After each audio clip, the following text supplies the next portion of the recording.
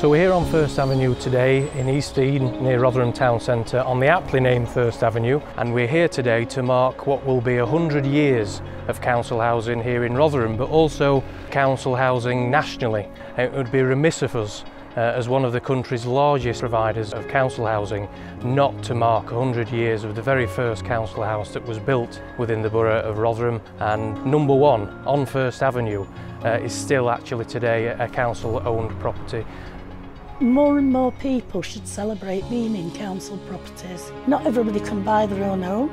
A lot of young people starting out these days, especially with jobs and everything, it's, it's somewhere that is affordable for everybody and we all need help sometime in life.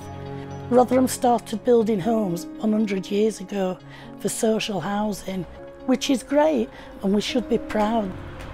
First moved into this bungalow 51 years ago it's, I love it and I love the garden, but it's a very, very big garden. Before that, though, we lived in a prefab, number three Mowbray Gardens, which I now live at again, but in a different position. Well, my family came to live in council houses when they cleared uh, some of the houses at Holmes uh, in Rotherham. And my grandfather had just come out of the army and these had just been built and he got a council house on East Dene. That is number five Broadway, which is where my grandparents lived.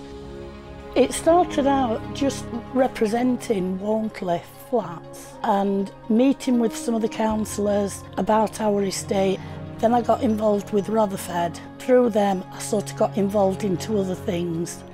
And it's about us having our say with social housing and working together with the government and with councils to get the things right for what they need and what we need. We still believe quite um, deeply that it's a, the role of the council and the role of the public sector to provide good quality, uh, affordable housing for people through council housing and, and social housing uh, and we feel that this should be something that this country um, continues to prioritise as we move forward. I started living in a council house when my mum and dad split up and divorced. If it weren't for the council, I don't know where I'd be then, because I would never have been able to afford a house of my own. As a single parent, rent in other places would be too expensive, so this is affordable. Uh, my name is Becky Welton. I live in Canklow. Uh, I am a volunteer at Canklow Rainbow Kids Club.